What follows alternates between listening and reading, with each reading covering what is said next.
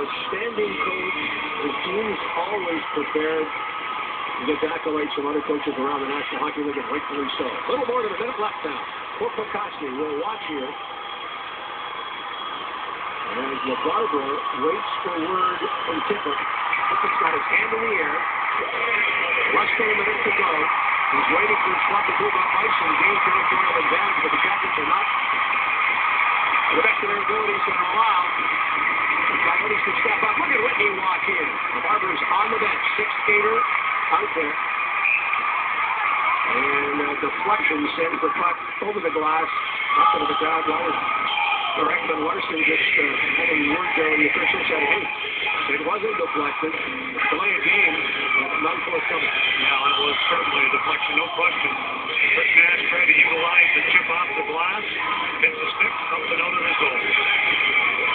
See the official right now, Kelly Sutherland, having a little chat with Vinny Prospal.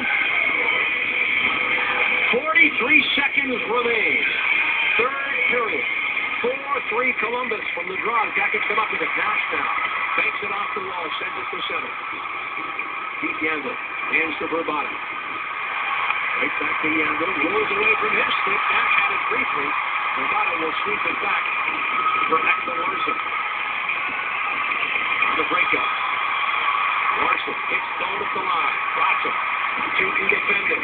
Stone trying to sweep it in front. Shovel towards the net. Final 15 seconds.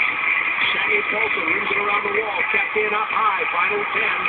Ekman Larsson settles it down. Looks for the high slot. Jackets come up with it. Right back to Cone. Jackets sacrifice the body there. A block shot and jacket is still down. Derick Brassard, what a night. He blocks the shot. He's Sanford of the Jackets with a huge win here as they hold on to defeat the Coyotes 4-3.